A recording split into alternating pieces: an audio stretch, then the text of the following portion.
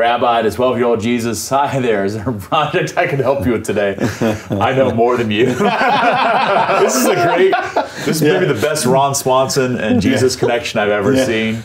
Um, I'm the opposite good. opposite when I walk into a hardware store or to a Lowe's or whatever, where I'm like, I don't know what anything is. Yeah, yeah. What is what do these tools do?